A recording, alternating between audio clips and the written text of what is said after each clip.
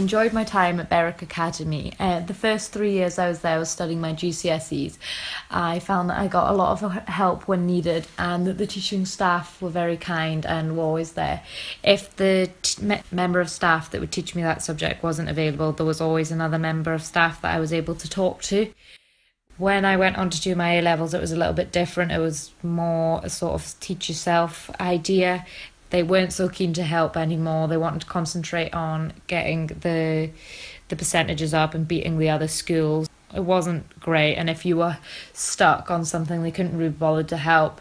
When I sat my coursework, I was told that I would be given a high B and it came back as a low D, which left me with a low D overall grade in English. Um, this was quite disheartening, and it was just kind of that the teacher couldn't be bothered anymore and just didn't really care about the students. Obviously, the old head teacher was there when I was there, so I don't really have any knowledge on the new head teacher. From what I've been told, she doesn't run the school very well. She runs it more like a business than a school should be ran.